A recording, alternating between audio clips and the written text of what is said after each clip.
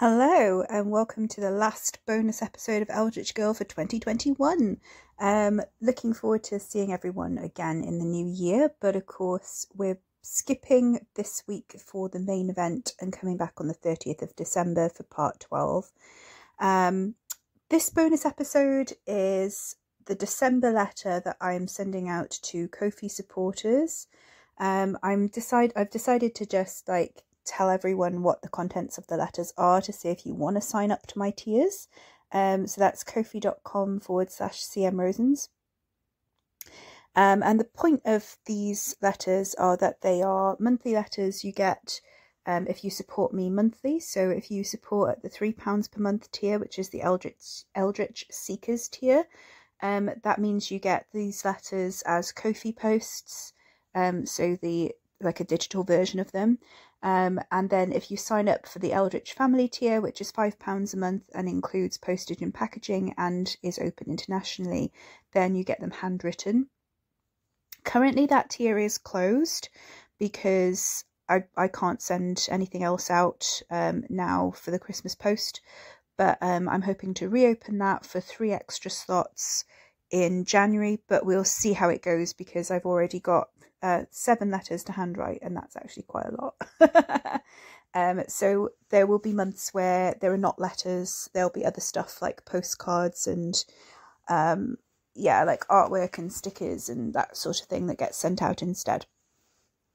So um, this one is the one that people got um, personalized uh, in a Christmas card for um, this month.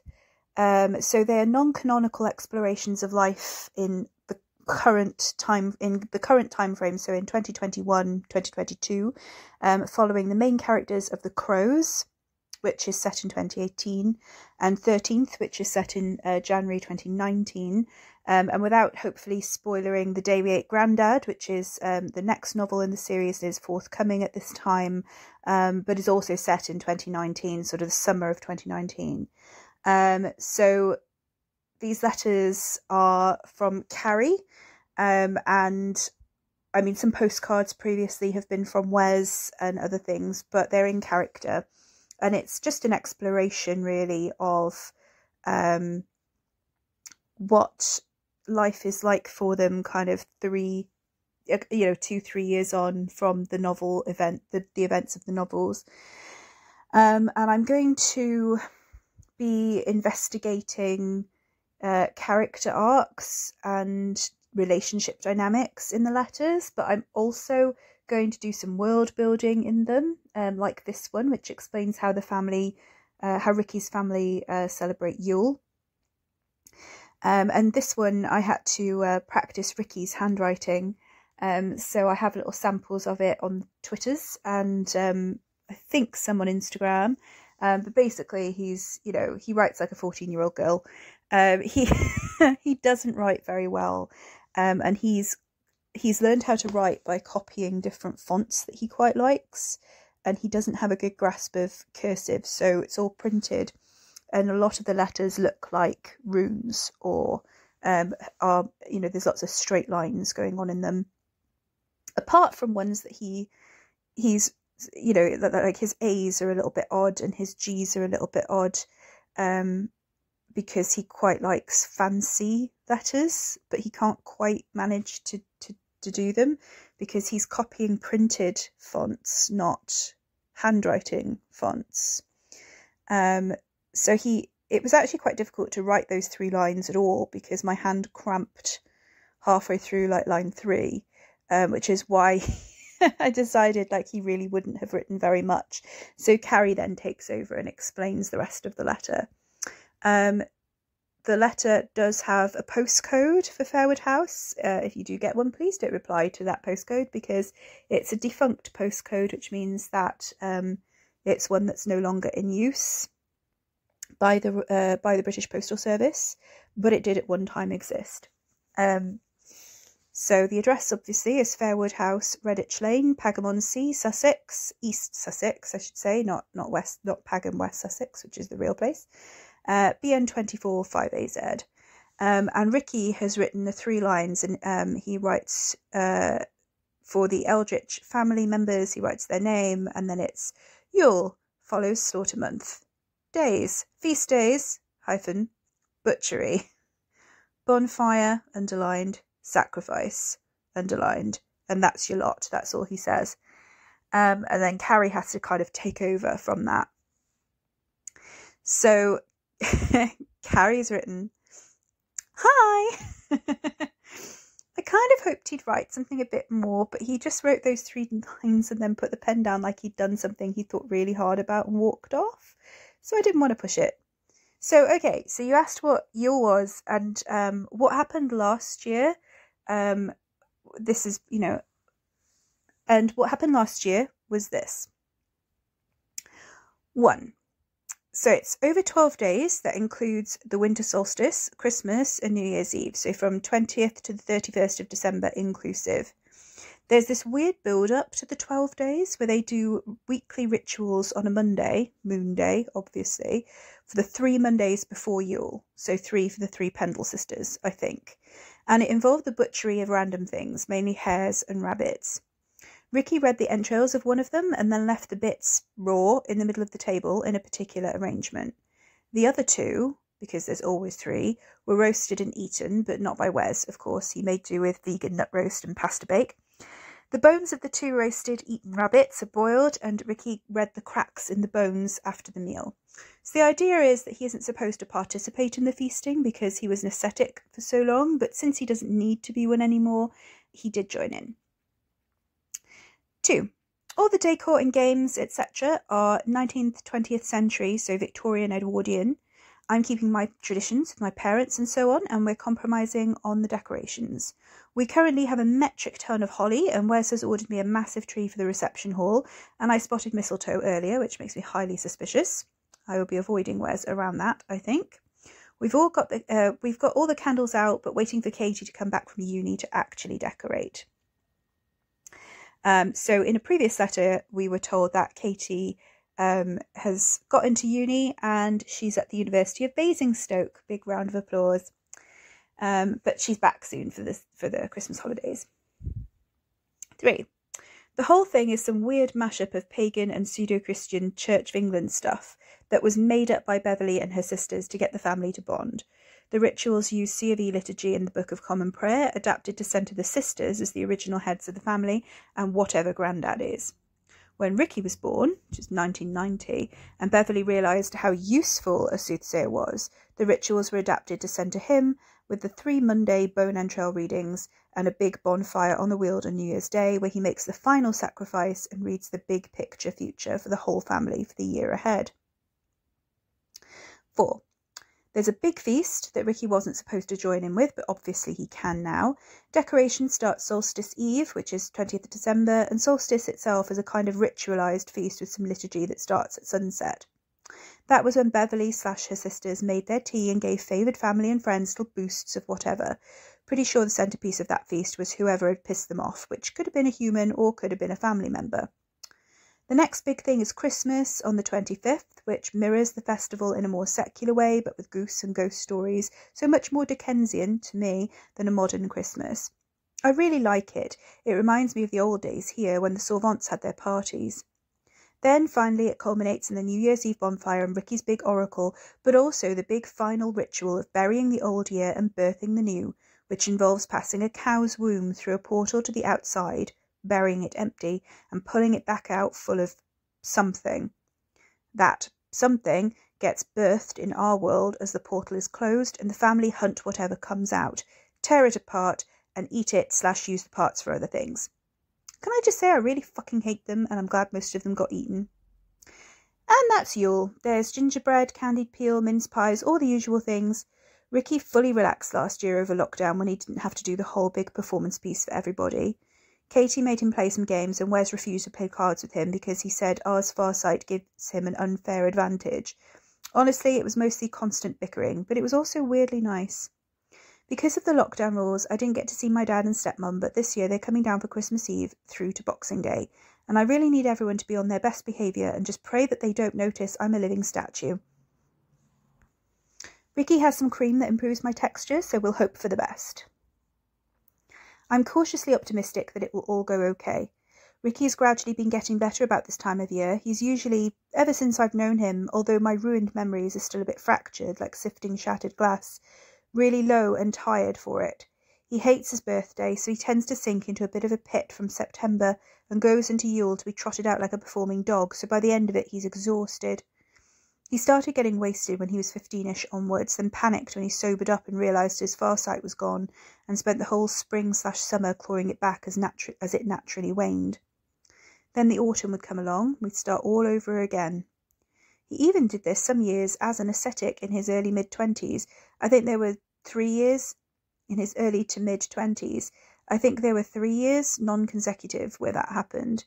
He would have done it the year he met me as Carrie, because she'd I'd bought Fairwood that year, and obviously he didn't like that. But thankfully, question mark, question mark, the planets aligned or the moon was right and whatever, and he decided to read his own future instead, and you know the rest. The rest, of course, being uh, the novel The Crows. That year, 2018, was the was the Yule things started to get a bit better, but only because he could throw his weight around. He did this with his whole family as the family god, and made them all pay tribute to him with eyes, their own, and hearts, other people's.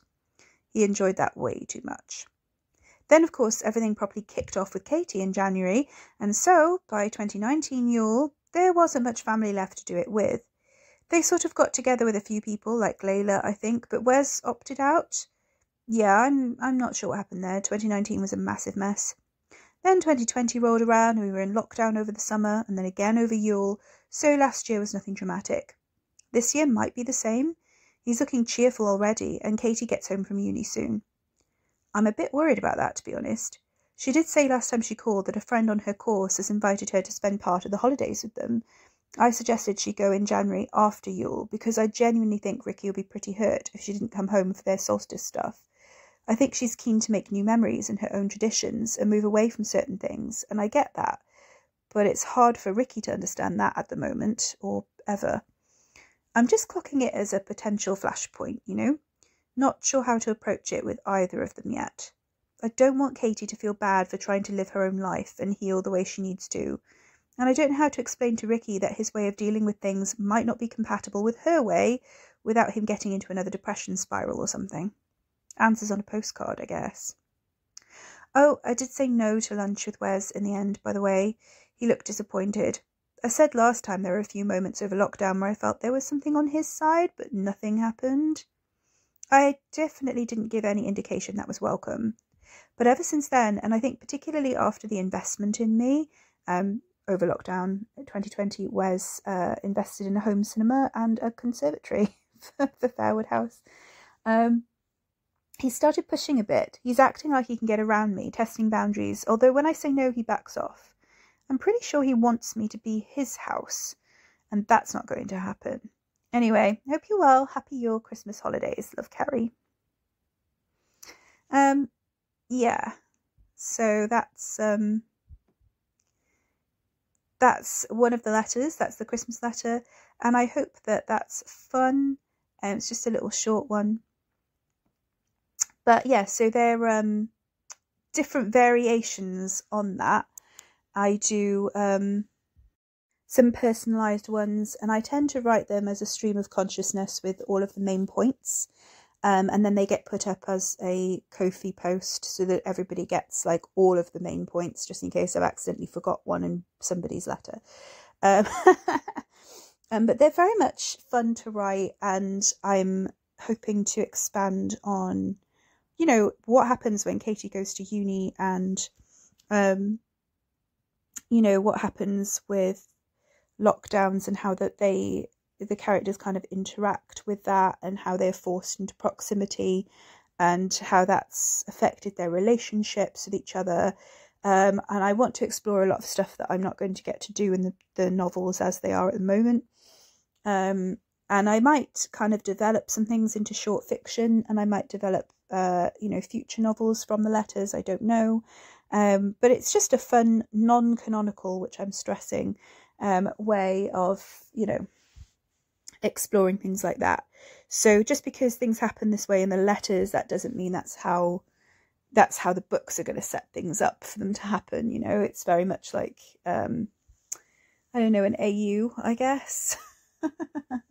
um, but it's yeah, let's see. It's it's quite fun. Um, and I'm enjoying it as an experiment. And it's quite fun to handwrite and post things. Um, I have enough people on the tiers that I can actually afford to post to places like the US. Um, so you know that's that's worth it for me. So that's that's fine. I just won't be able to post like big chunky things. Just um, cards and letters are fine. But yeah. Um, so uh, so yeah, so happy holidays, and I really hope that um, you're enjoying the serial so far. Um, we'll be back on the thirtieth, so there's no um, there's no main story on Thursday this week because that's the day before Boxing Day, and I'm also quite busy. Um, but yeah, we're resuming on the thirtieth, and then we're cracking back on in January. Um, our January author interview is with Mason Hawthorne, um, who's done some talks for Romancing the Gothic before um, and done some author interviews with that project as well. Um, and he's published in um, Unspeakable uh, by Nyx Publishing. Um, and he's got a lot of, he's got some other short fiction elsewhere as well, but it's the um, unspeakable short story Lead Bitter House that he's going to be reading for us in January. So that's exciting. Um, yeah, and I, I'm really excited. I've got um, lots of other things lined up as well. Um, there's also Ally Wilkes coming on the show, whose uh, debut novel All the White Spaces is coming out with Titans. That's polar Arctic horror. Um, I'm really excited to chat to Ally about that. Um, yeah, it's going to be fun. It's going to be lots of fun. Um, and if you want to catch up with any of the author interviews so far, um, we've had Lyndall Clipstone, whose uh, YA Lakesedge um, came out um, this year, um, and Forestfall, the, the second novel of the duology, is coming out, I think, 2022 23.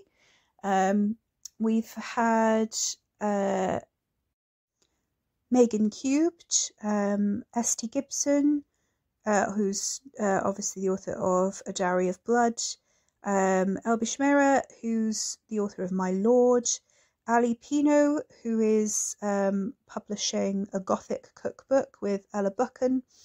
Um, so that one was a little bit different because that's our first sort of non-fiction um, author we've had on. Um, Stephanie Simpson, romance uh, and Cosmic Horror, Maria DeBlassie, um, Johannes T. Evans for Queer Monster Hour. Really hoping Johannes can come back at some point, um, but we'll see. Um, and April Jane Rowan, Ezra Arndt, um, under their original pen, name of Nita Pan.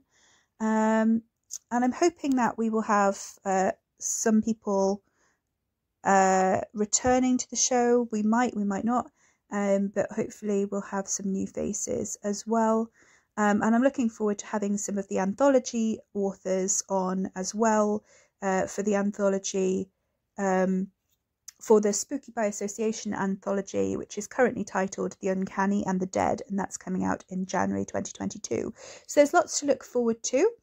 Um, I'm in that anthology as well, um, and my novella it's well, it's a very long short story slash a very short novella. Um, is called The Reluctant Husband, and that is the genesis of the Porter clan, but it's also a very much a standalone Lovecraftian parody. So there's all of that to look forward to in the new year. Uh, we will see you again on the 30th of December for part 12 because um, the way that part 12 ends, I didn't want to have that hanging over Christmas. so um, yeah, I hope that you'll enjoy that. Um, yeah. Um, and if you just can't wait, feel free to buy the book. Um, there's a Smashwords end of year sale on at the moment. If you want to grab the ebook, it's 50% off. Um, and there's you can uh, there's two of my short stories for free on there as well at the moment.